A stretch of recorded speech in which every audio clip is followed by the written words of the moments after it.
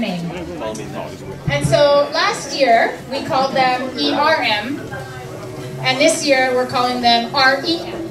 Okay? So before they start, we would just like to take a survey on what name you think they should have. So who thinks it should be ERM? Clap. the best, so. Okay. And who thinks it should be REM?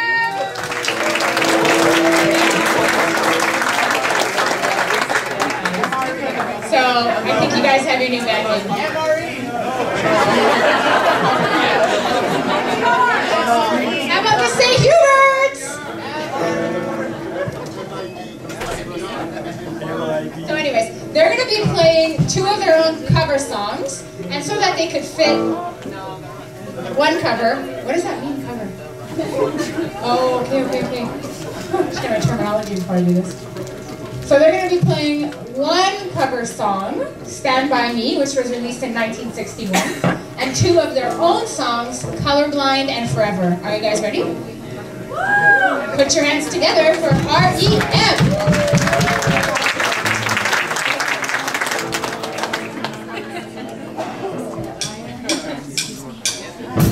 When